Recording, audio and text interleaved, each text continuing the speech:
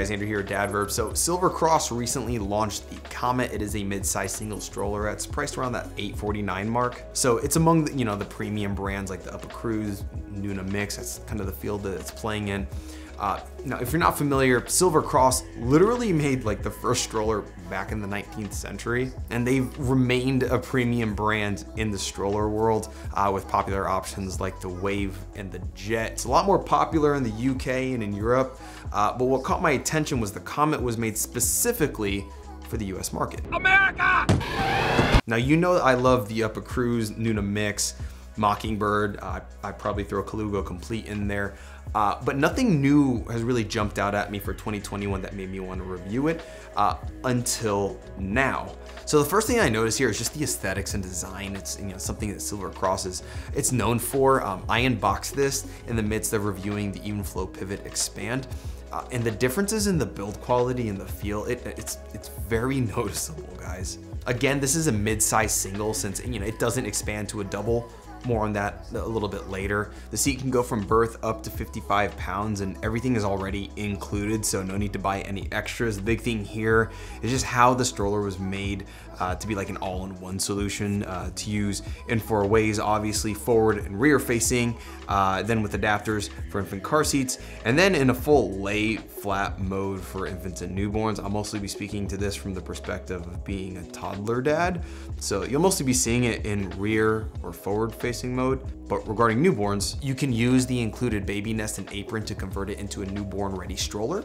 Uh, and the winter apron is gonna be a little bit thicker and more plush for added warmth. It connects very easily along the sides and wraps around the crossbar before being magnetically secured. It's super clean looking and I think, I, I think it's very thoughtfully designed. Uh, it's a great transition there. Also built into the back of the footrest is the summer apron, uh, which is gonna be a lot lighter and more breathable, uh, similar uh, to the winter option. You know, it, it, wraps around the handlebar and it's snapped into place rather than being magnetized. If you'd rather stick with infant car seats though, you can pick up their car seat adapters, which can adapt to the following car seats. When using this beyond the newborn stage, this seat is solid and offers just better support in comparison to other options like the Evenflo Expand, for example. Uh, the harness is easily adjustable if you need to. You, you can just pop off the, the seat cover uh, and rethread it as needed. It's not something that we do very often, but you know, know that you can do that.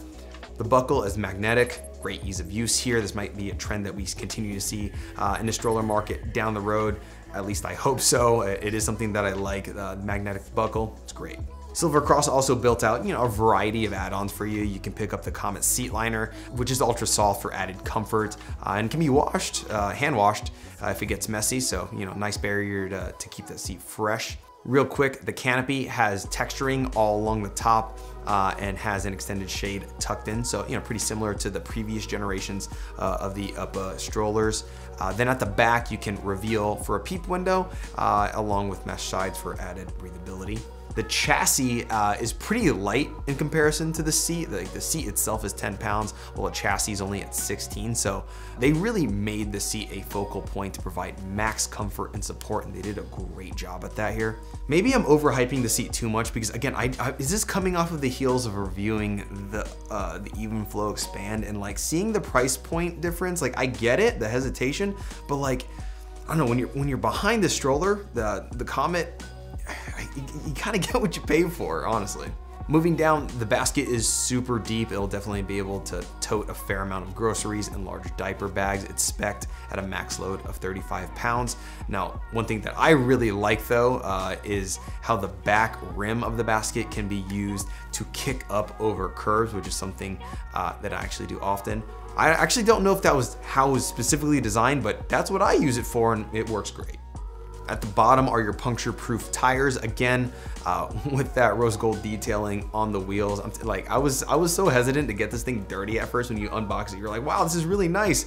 I don't wanna mess it up. It's a stroller, you know, it is what it is, but I'm telling you, the design details here, spot on.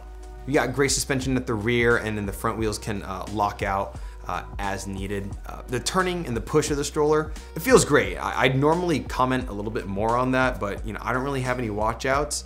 Uh, the push, it's, you know, push feels great. At the back is the pedal to engage the brake and then there's the green button at the top. That's uh, what you use to release it. Now the button is a bit small and sometimes I feel like I miss it with my shoe. So one note there. To round things out, I'll hit on the handlebar in the fold. It's got a telescoping handle uh, that can adjust to three different positions using only one hand, so convenient there. Uh, one thing I did notice though is that when it is fully extended, uh, it felt a little bit loose, nothing like I ever got concerned about, but there is, there is visible movement. To fold, you release the lock with your thumb and then use the triggers on both sides of the stroller to bring it down. This is actually one of the few strollers that I've tested that like wasn't really meant to self-stand. Uh, initially, when I started doing that, I rested it uh, on the canopy crossbar, which I learned was a no-no. Uh, that's not how it was really intended to be used. Uh, in most cases, you may just want to like lean it against the wall uh, if you're in the house. Now I found that when getting it into the trunk of my Civic, it's best to fold it with the seat in rear facing mode or just taking the seat off altogether so that you can get a better fit similar to how you may do it with like the Nuna Mixx Next. Now on their site, they've also got a bunch of accessories for you to pick up, including a cup holder, the Eclipse diaper bag, which matches nicely. It's, you know, my wife's a bit of a fan of that one. Uh, and then the Elevate adapters to bring the seat up higher if you like to be a little bit closer to baby, especially uh, in that lay flat mode. And then they have a travel bag, ideal for air travel and storage. Uh, it's got wheels at the bottom so that you can just roll it along as needed. Overall, I get it now. I, I understand the hype of Silver Cross. This is like my first time getting my hands on something like this, and my take on it is pretty simple. I think it's legit. It's a premium stroller, and if, if you're in the budget range here and, and you're sold on it and you came to this video wanting a little bit of, of assurance, you have it. The Comet is a great buy. Again, the only downside here, you know, just being the fold. I wish that it could be a little bit more compact and that could self-stand, but uh, it offers an insanely smooth push, uh, great support, and then most importantly, it offers great comfort for your littles. Guys, everything is linked below. Buying through those links helps support this channel. It's at no additional cost to you guys. Now, what I wanna get into is one thing that I hear often, and it's this debate of buying a single or double stroller, like which is gonna be best for you. And I notice that some parents might get hung up on their buying decision because whatever they're looking for can't expand to a double. And they think that that's an important feature. And I used to think that that was a really important feature, but over time I learned that it might not be as important as you think.